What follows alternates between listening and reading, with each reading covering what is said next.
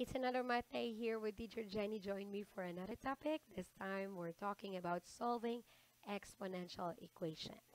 Now, in solving exponential equation, we'll be needing the property of your exponential equation in which it is stating there that if your b or the base there is greater than 0 but not equal to 1, then we will have there b to the power of x equal to b to the power of y if and only if your x is equal to y.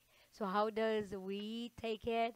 That would simply mean that if your bases are the same, automatic your x and y, which are your exponents of those bases, will also be the same. So let's try to apply that one in solving for this particular exponential equation problem. So we have 3 to the power of x, which is equal to 81. So again, we wish to have our bases as similar base. And in order for us to do that one, we have to look for um, 81 and express 81 as the base of 3. So how do we do that one? We can go and use our factor tree in which we will be coming up with our factor which we wanted to be the base. So this time we have the base 3 because on the left side it has base 3. So this is now with 3 here. And of course, the partner of that one will be 27 because 27 times 3 is equal to 81. Next, we go for breaking up 27 into 3 and 9. And then 9 here will be break, broken up into 3 and 3. So we've got here 3 as your common factor, which will be the base. And of course, how many times it appears here will be your exponent. So we have 1, 2, 3, 4. So that would simply mean that our 81 can be expressed as 3 to the power of 4. So notice your bases are the same. So we can say, using the property of your exponential equation there, that if your bases are the same, your x there, we can just equate that to the right side exponent. Okay? So this will be your answer. You can try to check it out by simply plugging in your value of your x to your original equation and you would see that that is 81. Next, we go to our next problem. So we have 4 to the power of x equal to 32. Now, notice that this is base 4 and this is 32. If we are to look at base 4, we have here 4 times 4. This is equal to 16. And 16 times 4 this is equal to 64. So that's, there's no way that the base of 4 there or the 32 there can be expressed in terms of base 4. So that is why we look for another base.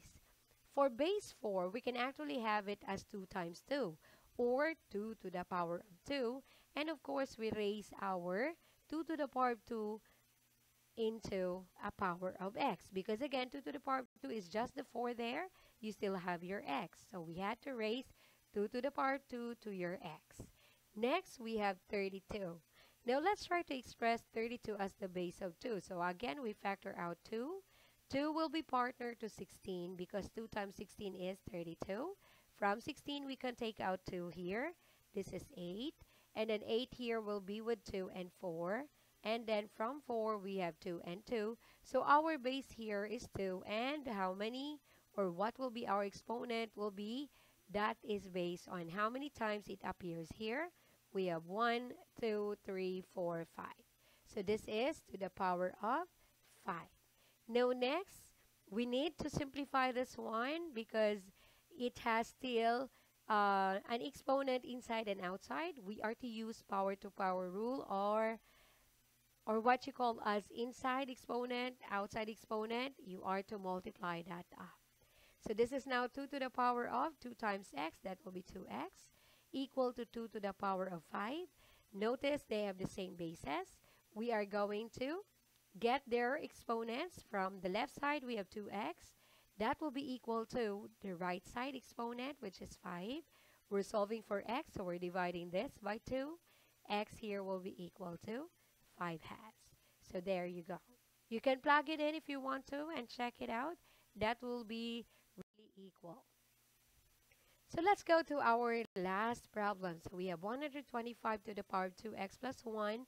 That will be equal to 25 to the power of x minus 3. So again, we can express this one in terms of 5 because it's clearly seen that we can express this 2 in terms of 5. So we have 125.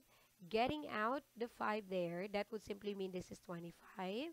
And we try to get out or get the 5 out. So we have 5 and 5. So there are three fives there. So that means to say we have 5 to the power of 3 on 125. And we're raising that one to 2x plus 1. That will be equal to, for 25 here, we know that that is 5 times 5. So this will be 5 to the power of 2. And again, this is only 25, so we still have exponent, which is x minus 3. Then we try to simplify, power to power rule, everyone. So this is 5. Um, 3 times 2x, that will be 6x. 3 times 1, that will be plus 3. Then we have here 5 to the power of power to power rule again. 2 times x, that will be 2x.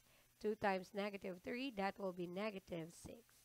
Then we try to simplify not simplify, but try to equate our exponents because we have now the same basis. So we have here 6x plus 3. This is equal to 2x minus 6. Then we move x to the other side and 3 on the other side. So this is now 6x minus 2x. That will be equal to negative 6 minus 3. 6x minus 2x, that will be 4x equal to negative 9. And then 4x, we're dividing this by 4 to get rid of that 4 there because we're solving for x. And then we have negative 9. We divide that by 4. So our x here will be equal to negative 9 over 4. So there you go. So you can try to have that one there or you can try to uh, solve that by plugging or check that by plugging in your values of your x. So once again, this is your teacher Jenny saying Good luck in every challenges in your life. Please take note that in every problem, you will have a solution for that one. And every repetitive uh, problem, you will have an upgraded solution for that. So once again, this is Teacher Jenny saying, please like and share my video and please subscribe.